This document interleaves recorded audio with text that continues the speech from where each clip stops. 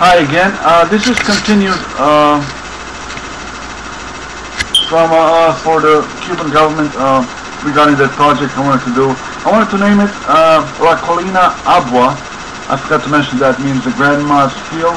Babino Brdo is the name of the hill from my town, uh, Derventa, Babino. Uh, I also wanted to mention I forgot to show you the kind of uh, thing I wanted to build, the kind of plane I wanted to build.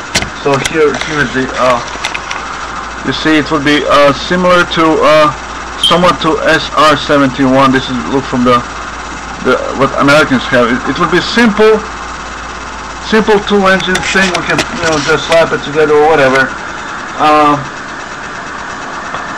no weapons on it, no nothing, just a little a little bit threatening military look to it, that's all. Was also something I had in that letter to United Nations. I knew that all those experiments I suggested to them would have been expensive, so I gave them like a little script for the movie or for the book if they want to hire somebody. Like Hollywood makes money like that big time. So to uh, to make it, but since they never answered and I've already copyrighted for, for this year for myself, I'll give it to you if, in case an accident happens to me. Uh, the movie was about uh, uh, like a war in heaven and the Michael fighting devil and uh,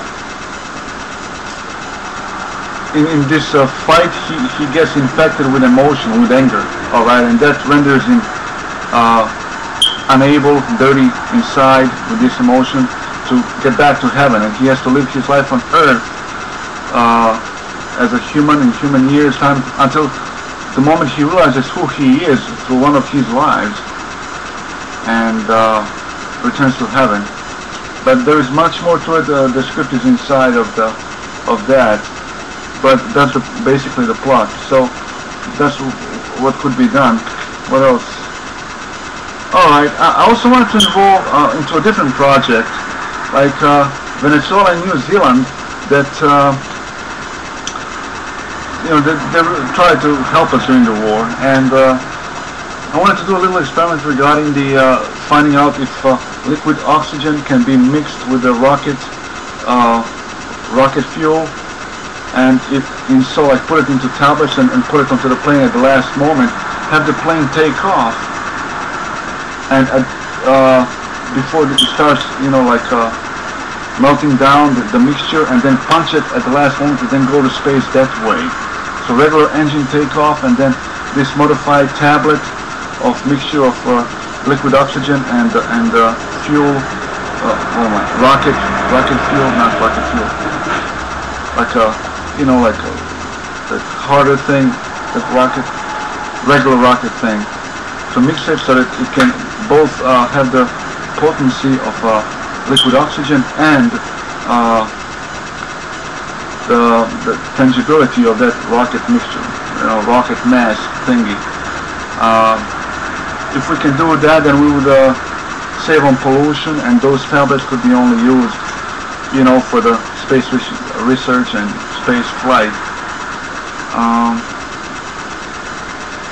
not for the weaponry. That, that's the way I wanted to copyright through UN, but they're never getting back to me. They just want to mediate, you know, after the thing happens. They don't want to help. That's the whole point.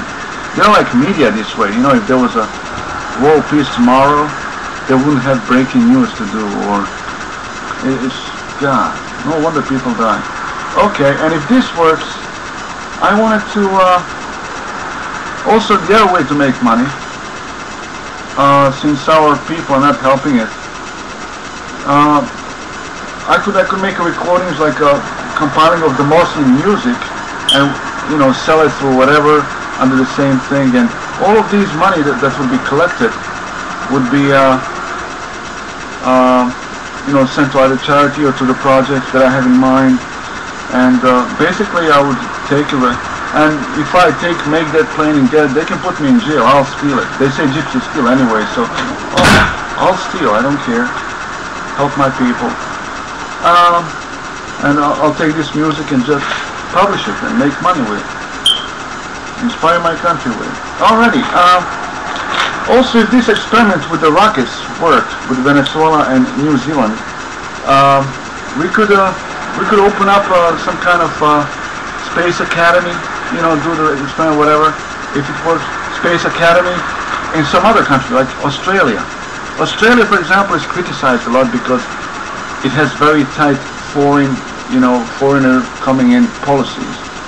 And instead of criticizing, which is really easy, how about we live up to their sensitivities and open up uh, Space Academy there and uh, see what happens. You know, we can name it Mahatma Gandhi, Mother Teresa, some of the good people, something like that.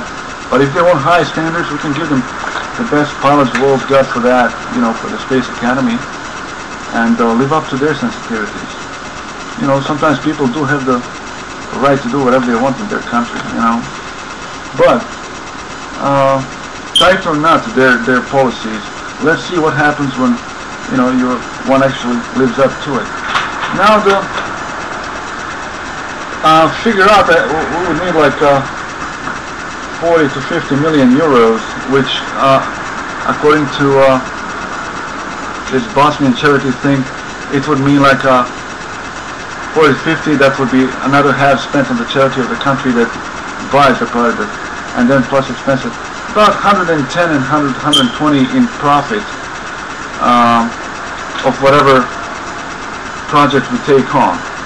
And from that aircraft, I'm making uh, 20 million if any more is spent, then we're doing something wrong. It's like basically a few new engines, we can put it and have fun with it together and, you know, make it look sleek, whatever.